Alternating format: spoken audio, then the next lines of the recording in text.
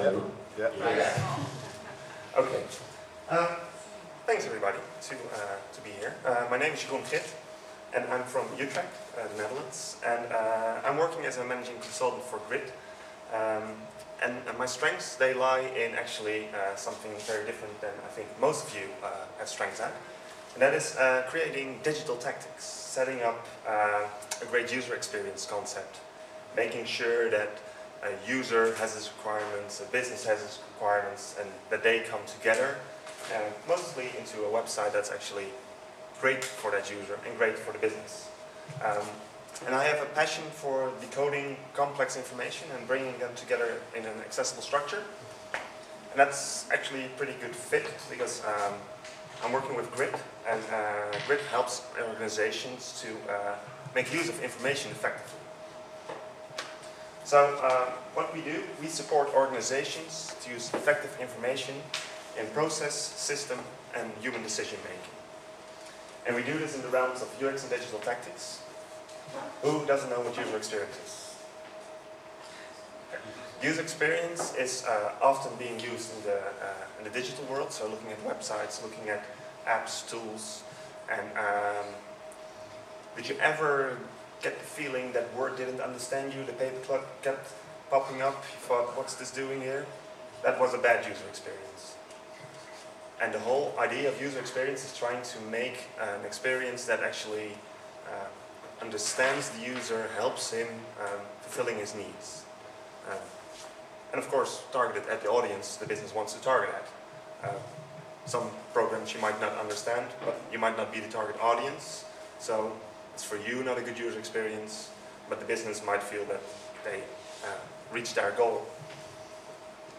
So for us, looking at all the target audiences, we, we help often uh, large B2B organizations uh, set up effective uh, websites, uh, fully aligned with the target audience, uh, aligned with different silos in that organization. Um, and we want to make sure that a website or any other digital outlet is actually uh, fits in with uh, the processes in the organization. I want to make sure that the content actually is updated and that not someone saying, well, who's owning that? I don't even know I was owning that. Um, and we, uh, we create infographics, we create presentations, we create video concepts. As long as it's a multi-dimensional question and uh, just not a one-off, um, we try to make sure that we're up for it. We want to be if it's digital, if it's connected to processes, it's connected to content, and it's difficult, then it's something for us. And uh, we make use of mind mapping. Uh, we just are not training in mind mapping. We make use of it uh, in our own work. We actually are uh, writing a book at the moment on uh, uh, effectively creating visual presentations, and mind maps are one of the tools within that whole method. And for us, this, this is very exciting, but as think most of you will actually do is that if you structure a, a story or a presentation, a mind map is a really good tool for that. Um, so even though it's exciting for us, it might not be that exciting for you. Um, mind maps are a key tool to structure uh, complex content. And uh, as Liam said, the right tool for the right job. Um, and what I want to talk to you about today is something different, and that's um, actually how to use mind maps to support collaboration. Um, and we often do this uh, within large internet projects. Um, and you get a lot of input. Um, you have lots of stakeholders, lots of input coming in, and we work with these big companies with big ambitions, and they often they bite off a bit more than they can actually chew. And to prevent this, uh, we use a program model, and that's by Twynstra and Gudde. And we use a program model for projects. So um, a normal project would be running from A to B. Of course, you see A and B as well. And the whole thing about a successful project is making sure a viable project is delivered within due time. Delivering on time in our business makes sure that actually the foundation that the project was started with is not outdated before you actually go live. Um, since these organizations, they bite off a bit more than they can chew, then that B is something really big. And they tend to take a long time to actually get there. And before they even get there, well, they have already gone along, along, along a whole windy road and gone back and forth, and in the end, you never get where you intended to go to. Um, so that's why we use this model. You have your ambition, that's your B, but you have your first goal as well. And that's your first project. You go to A excellent.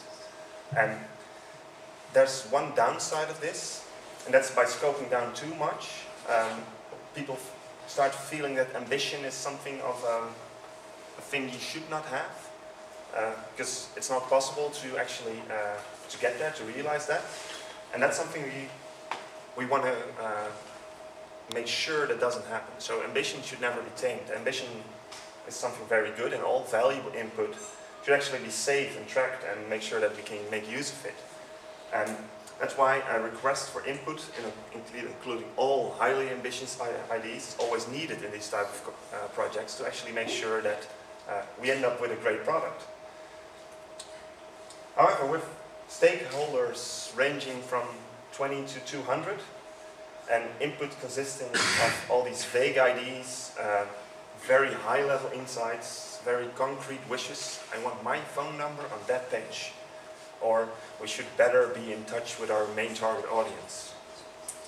So trying to discuss them and make them tangible and facilitate decision is it's extremely hard actually. And what's often done in this common practice is uh, to create an overview of all the input and uh, spreadsheets um, are used for that, but they do have a clear downside. And that's that you're facilitating table methods. So this would be, this is an actual spreadsheet of a project, and uh, well, as you can see it goes down quite a long bit to the end.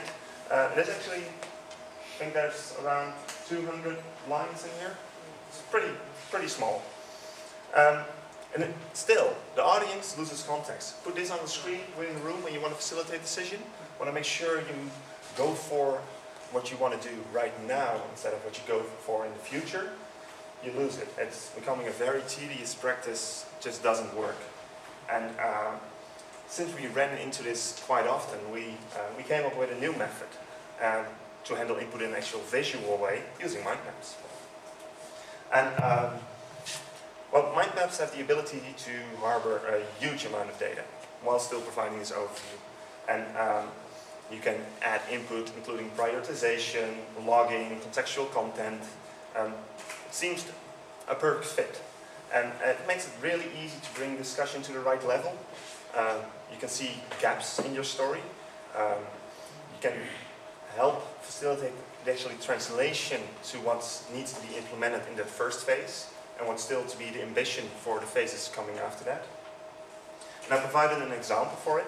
And um, we, we apply this, as I said, um, this method, we often work in large projects and um, huge numbers of stakeholders. And uh, the example I will be showing uh, in a minute is uh, of a digital transformation program of a, a multinational in the B2B market.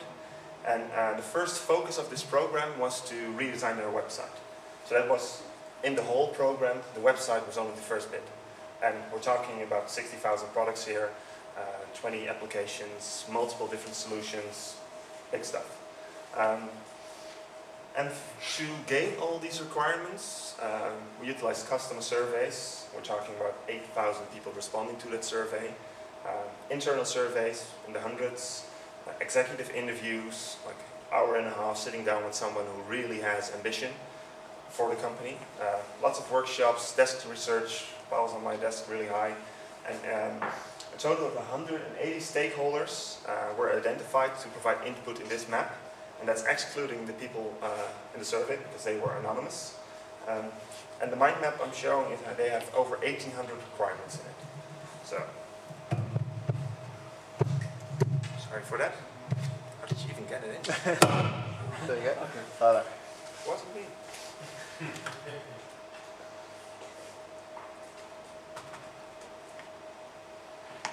amongst yourself. I'll just take a sip of water. So I'm sorry for the whole beamer slowness. Yeah. So, this is what we're looking at.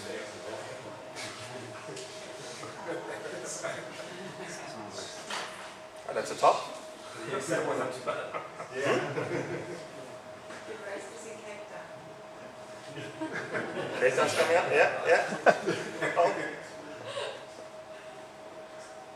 And there we are. Big mind maps. But when in the meeting, we start with this, six groups. Six groups in which we group together. Uh, you see that there's leads. Um, we made this an anonymous map, so the family Smith uh, very good in providing input. So of course, we change some names to make sure that uh, our clients don't feel that we are taking their, uh, their good ideas away. And um, if we would, for instance, have a meeting on user experience, um, we would just uncollapse this one. So over here, we're looking at, oh, not too much, 23, 23 high-level ideas that uh, can be discussed. So in, if we would do uh, an interview with uh, more or less director level within these organizations, we would keep it at this level. We just gain what they actually have to say about it, get a good feeling of what they want to go for, don't drill down further. That makes it really handy to work with because in the Excel they would see the, all the bits that are below that. In the mind map we can just decide what we want to show. And if I would be sitting with someone who actually, um, for instance, uh, with regards to the power of storytelling, well, if someone would be engaged with that, uh, in charge of that, or how you would say it, then we only have five different requirements at the lowest level.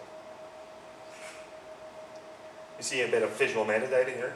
Um, there's a, a legend, ready for sign-off, revision, priority. And over here you see how we prioritize this. For uh, the purchase experience, there are a bit more. So 15. And over here you see as well that um, this one is a bit vague. One-click ordering uh, might mean different types of things. Uh, has a low priority and has a link with the buy direct buttons coming from the internal survey, being an attention point. And um, we would be able to look at, for this one, at what would be the notes, a bit more explanation on how that actually worked. Uh, somebody gave input and often gives input uh, pretty, pretty big. They, they share a lot of information and we try to bring it down to these, these bits we can actually work with.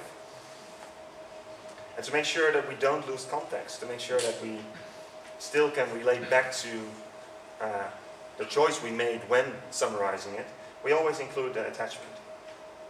So over here, the website should have buy direct buttons from the internal survey. This is the actual uh, uh, survey file and shows 17 pages, I believe, of uh, all the different stuff coming out of that survey. Of course, before you find that one requirement back you're looking for it, but you at least have the source at hand.